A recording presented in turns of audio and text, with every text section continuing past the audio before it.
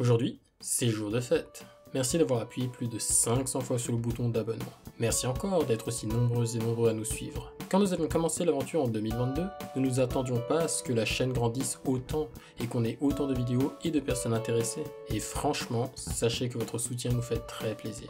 Parce que c'est grâce à vous que nous trouvons l'énergie, le temps et le courage de pouvoir vous produire du contenu gratuit et pédagogique. Au final, on ne savait pas comment vous remercier, et on s'est dit qu'on allait faire un contenu qui sort de l'ordinaire. Ce contenu est orienté sur l'utilisation de l'intelligence artificielle pour s'aider dans le travail académique. On espère que le contenu vous plaira, et encore merci pour les 500 abonnés. Bienvenue sur Wideta, la chaîne des données et du code. Aujourd'hui, nous allons parler de Bing AI, qui est un outil très pratique. Alors Bing AI, comme le nom l'indique, c'est une intelligence artificielle. Ça fait maintenant plus d'une année que la popularité des intelligences artificielles a le vent en poupe, mais ce n'est que maintenant que nous avons décidé d'en parler. Nous avions réfléchi pendant un long moment si nous devions faire des vidéos sur ChatGPT, mais avec l'abondance des contenus plus ou moins pertinents sur le sujet, on s'est dit qu'on allait être resté en retrait et ne pas rentrer dans ce bourrage d'informations. Là, maintenant, je vous parle depuis le 12 novembre 2023. Et en cette période, l'outil qui a le plus de popularité, c'est ChatGPT. Et pour être franc, c'est pratiquement le seul dont tout le monde parle, alors qu'il y a d'autres éléments comme Bard ou Bing AI que je suis en train de vous présenter en ce moment. On dit beaucoup de bien de ChatGPT etc. Mais l'un des problèmes que je lui trouve, c'est probablement sa popularité. Mais pas seulement, il y a d'autres problèmes que je peux vous souligner. Et avant que je les souligne, bah, j'aimerais au moins mettre en avant quelque chose. J'ai aussi un compte ChatGPT et ce compte, il est premium, donc j'ai pu tester toutes les nouveautés qui arrivaient au fur et à mesure. Malgré ça, les défauts que je vais vous citer restent. Le premier gros défaut, c'est que si on veut avoir accès à toutes les nouveautés qui arrivent, chercher sur internet, utiliser des plugins spéciaux, générer des images, lire des images, etc., eh bien il faut avoir la version payante. Et aussi utiliser le GPT-4, ça demande d'utiliser la version payante. Si vous ne l'avez que la version normale, vous avez que le GPT 3.5. Deuxièmement, et je pense que c'est lié à sa popularité, il y a de nombreuses périodes où il est très difficile de pouvoir l'utiliser parce qu'il y a tout le monde qui l'utilise en même temps. Par exemple, cette semaine, alors qu'il y a eu une conférence sur ChatGPT, et je vous rappelle, j'ai un compte premium, je sais qu'après cette conférence, j'ai eu beaucoup de peine à pouvoir me connecter dessus. J'ai fait une dizaine de tentatives et je n'ai pas pu me connecter pour pouvoir continuer à faire mes recherches dessus. Parce que probablement tout le monde l'utilise en même temps. Mais bref, ce sont quelques problèmes qui font que je n'ai pas trouvé l'expérience toujours très agréable, même si, on va pas se mentir, ChatGPT fait un très bon travail. Mais il est beaucoup trop mis en avant et je vais vous présenter une alternative qu'il faut absolument que vous testiez si surtout vous êtes un étudiant ou une étudiante. Parce qu'on n'a pas forcément l'argent à dépenser pour pouvoir avoir euh, des nouvelles fonctionnalités, on voudrait quelque chose de gratuit, quelque chose d'efficace et il s'adapte bien à notre environnement de recherche. C'est là que Bing AI intervient, il est complètement gratuit, donc je vais vous montrer, euh, je vous envoyer ce site pour que vous puissiez l'utiliser. Sauf erreur, vous n'avez pas besoin d'avoir euh, un compte chez Microsoft pour pouvoir utiliser cette version et qui doit être limité à 30 messages. Si vous voyez ces informations-là, ben en fait, Bing AI utilise GPT-4 derrière, donc vous avez quelque chose de très performant et qui marche bien. Ici, vous avez la foi aux questions si jamais sur ce site. Et il a d'autres avantages que je vais vous montrer. Donc je vais vous montrer deux manières d'utiliser d'abord la manière sur le site et la manière dans le navigateur Microsoft Edge parce que si vous avez Microsoft Edge, Bing AI est déjà de base dessus. Donc euh, je peux essayer Bing et vous voyez que j'ai ça qui apparaît. Donc ils ont euh, mis des options qu'on peut utiliser de manière générale. Si vous cliquez dessus, ben, il va commencer à vous faire euh, la conversation en fonction de ce que vous avez choisi. Vous pouvez aussi choisir la langue. Il me semble qu'il traite une vingtaine de langues. Et ici on peut choisir des modes de réponse. Donc mode équilibré, c'est celui que généralement vous allez utiliser plus souvent, je pense. Il y a le mode créatif, qui est un mode qui permet d'avoir des conversations euh, beaucoup plus originales et imaginatives, comme c'est écrit ici. Il y a un mode précis où ils vont aller dans des conversations simples et concises. Et l'équilibré, c'est entre les deux. Donc si vous voulez juste des faits, vaut mieux aller sur précis. Si vous voulez quelque chose, euh, je sais pas, pour de la rédaction, ben, autant aller dans créatif. Et sinon, si vous n'avez pas, vous restez entre les deux. Ici, il demande d'être connecté si on veut poser plus de questions et avoir des conversations plus donc c'est ce dont je vous parlais. Donc il me semble que vous pouvez faire 20 messages si vous n'êtes pas connecté, mais c'est déjà pas mal. Vous pouvez aussi euh, lui donner une image pour qu'il puisse travailler avec. Mais bref, donc euh, vous avez cette méthode là pour pouvoir converser. Et la méthode que j'utilise généralement, ben, c'est celle sur Microsoft Edge. Je vous mettrai en description le lien pour pouvoir télécharger Microsoft Edge. Mais dès que vous l'avez ici, vous l'avez et vous pouvez écrire autant que vous voulez à condition que vous avez un compte. Vous pouvez l'indiquer ici euh, et ajouter un compte. Normalement, c'est un compte qui est lié à Microsoft, donc des comptes Hotmail, Outlook, etc. Et je vais vous montrer les avantages qu'il a. Par exemple, je vais lui poser une question toute simple. Quel est le langage de programmation le plus populaire en ce moment.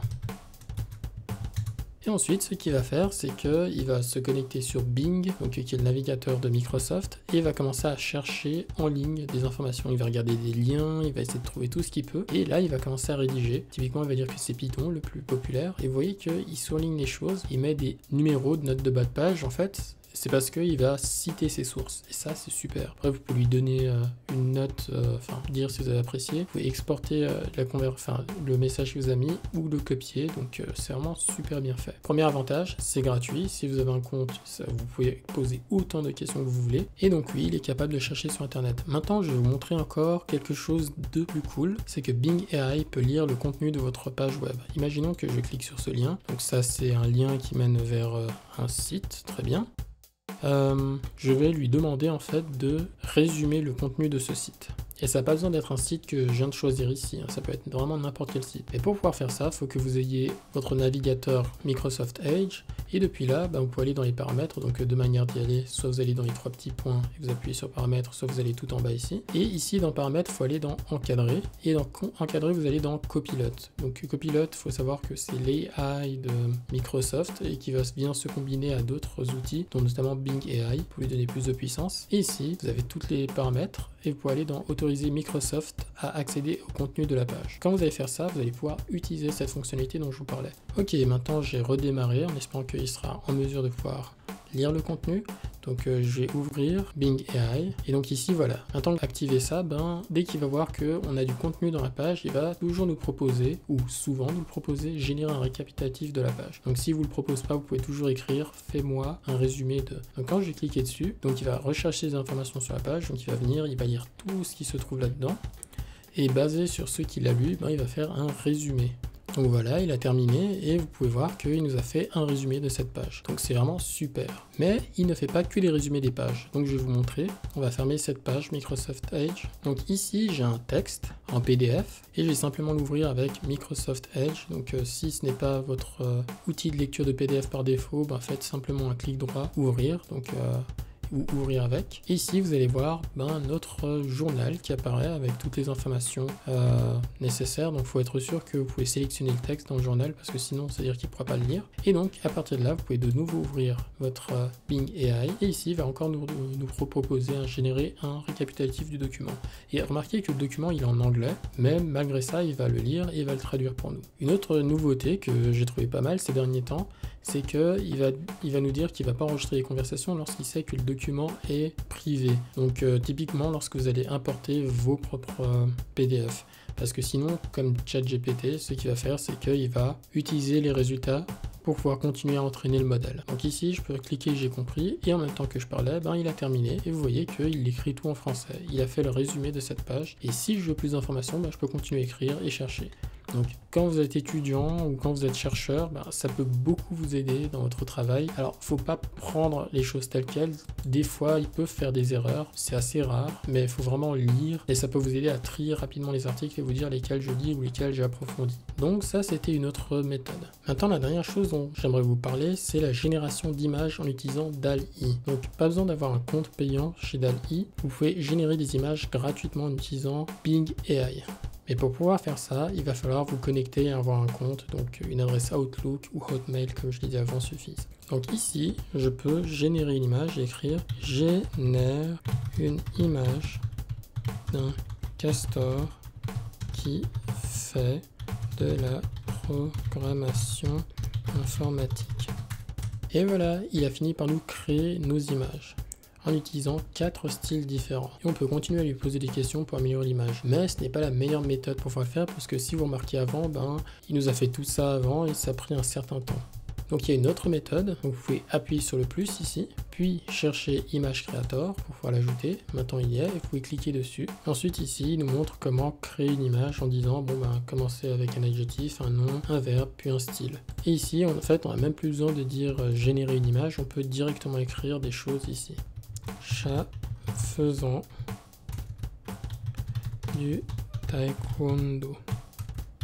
Et on peut aussi décider du style. Vous êtes libre d'utiliser les boosts pour que les images se génèrent plus rapidement. Mais ici, on a notre temps. Et voilà, vous voyez que il a refait nos images. Donc on a ce magnifique chat orange qui fait du taekwondo dans différents styles. On peut quitter l'image creator. Bon voilà, nous avons fini de décrire Bing AI, cette alternative à ChatGPT. Et avant qu'on se quitte, euh, j'aimerais vous parler deux secondes de notre site web. Donc comme vous pouvez le voir, vous pouvez y avoir accès avec widata.ch parce qu'on est en Suisse. Et vous pouvez cliquer sur l'espace blog. Et dans l'espace blog, bah, vous pouvez choisir de traduire en français. Hein. Vous pouvez traduire en de nombreuses langues, français, allemand, arabe, espagnol, japonais, russe, etc. Et en fait, ici, on a tous nos tutoriels qu'on essaie de mettre à jour au fur et à mesure. Ici, j'ai créé une feuille de route pour R pour que vous sachiez dans quelle ordre vous faites votre apprentissage de R. Donc ici, vous pouvez commencer avec euh, les premières vidéos d'introduction qui vous montrent euh, comment commencer à utiliser R, puis des add etc. Et donc en fait avec ça, vous pouvez savoir ce que vous pouvez faire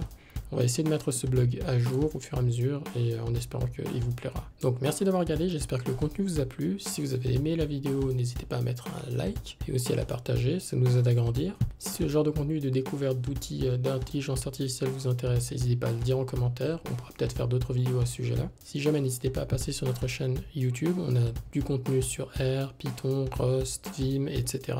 Et sinon, on va se quitter pour cette vidéo. En attendant de se revoir pour la suite, portez-vous bien et à bientôt.